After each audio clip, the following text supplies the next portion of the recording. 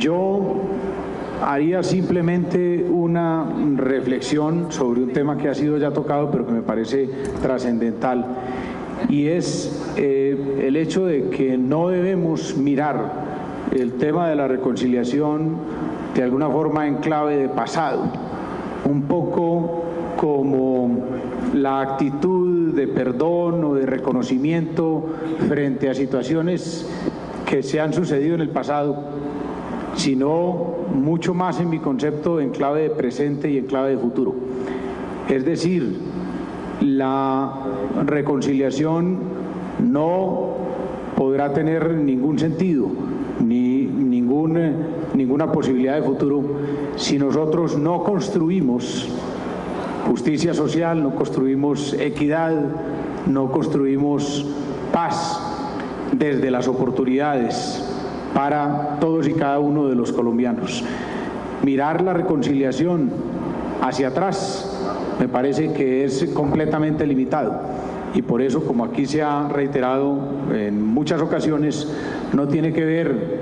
mm, fundamentalmente y prioritariamente con el proceso de paso, con el resultado del mismo, sino con la convicción que tengamos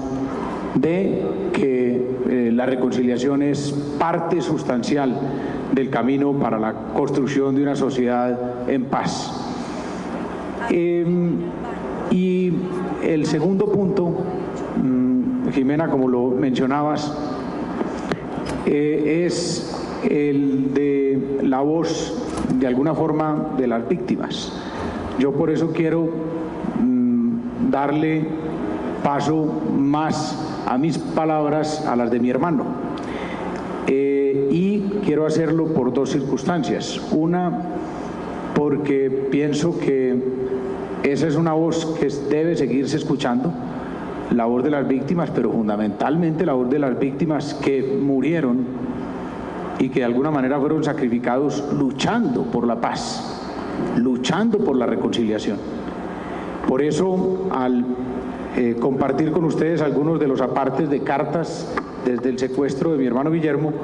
estoy es haciendo un homenaje a tantas víctimas que como él, como Gilberto y muchos otros murieron por construir esta reconciliación y esta paz que nosotros seguimos intentando.